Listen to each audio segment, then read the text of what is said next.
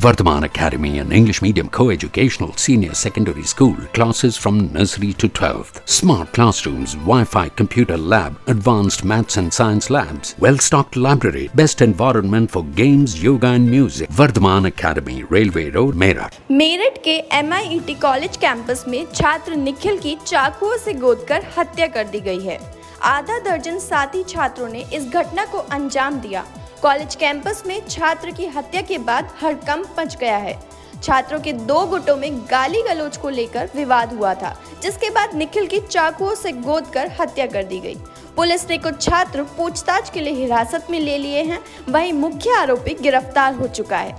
बताया जा रहा है कि निखिल बड़ौद का रहने वाला था और वह बीटेक सेकेंड ईयर का छात्र था। हत्या के बाद पुलिस प्रशासन के अधिकारी मौके पर पहुँचे खबर है कि इस कॉलेज में इन दिनों मारपीट व भारी युवकों को बुलाकर गुंडागर्दी की घटनाएँ बढ़ गई हैं। हाल ही में मेरठ मेयर सुनीता वर्मा के पीए पंकज शर्मा के बेटे पर भी कॉलेज में जानलेवा हमला हुआ था।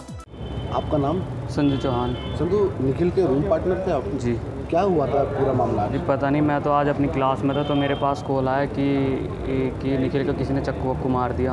तो मैं सीधा वहाँ से क्लास छोड़ कर मैं सीधा यहाँ हॉस्पिटल में आया। हॉस्पिटल में आकर पता लगा कि उसका तो वो ख़त्म हो गया निकल का तो पता नहीं वो पर मुझे पता नहीं मैं अपने रूम में रहता हूँ। झगड़ा तो अभी किसी से भी नहीं चल रहा था करंट में तो अभी किसी भी झगड़ा तो हम होते ही नहीं कौन लोग थे वो? काफ़ी पता नहीं फ़र्स्ट ईयर के थे कोई। फ़र्स्ट ईयर के मैंने सुनी चार पाँच लड़के थे कोई। कुछ कॉलेज से बाहरी लोग भी आए थे इसमें? नहीं को वो तो मैं मैं क्लास में तो मुझे करेक्टली पता भी नहीं। तो मैंने सुना था ऐसे चार हम्म? इसका कौन सा ईयर था? इसका सेकंड ईयर नहीं निखिल कौन सी जगह था? घटना का वो एडमिन एडमिन ब्लॉक के बिल्कुल जस्ट सामने। कॉलेज के अंदर? हाँ जी कॉलेज के अंदर। कितने बजे का मामला है? अभी ये बारह बजे से बारह बजे से पहले का ही।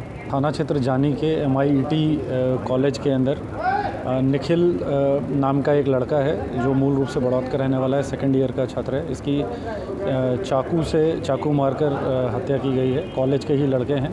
गाली गलौज के कारण दोनों पक्षों में विवाद हुआ था। इसमें अभी चार पाँच लड़कों को पूछताछ के लिए हिरासत में लिया गया है। जो मुख्य अभियुक्त है जो प्रथम दृष्टया अभी बात निकल के आ रही है जिसने चाकू मारा है उसकी भी गिरफ्तारी कर ली गई कितने आरोपी थे इसमें?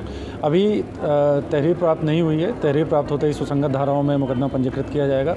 अभी प्रथम दृष्टिया जिन लोगों का नाम आ रहा है उन सभी को हिरासत में लेकर पूछताछ की जा रही है। कुछ लोग कितने लोग हिरासत में हैं? अभी लगभग पाँच लोग हिरासत में हैं, सभी से पूछताछ की जा रही है। जो मेन व्यक्ति है जिसने चाकू मारा है उसको भी हिरासत में लेकर पूछताछ की इस खबर में फ़िलहाल इतना ही। आप देखते रहिए फ़र्स्ट बाइट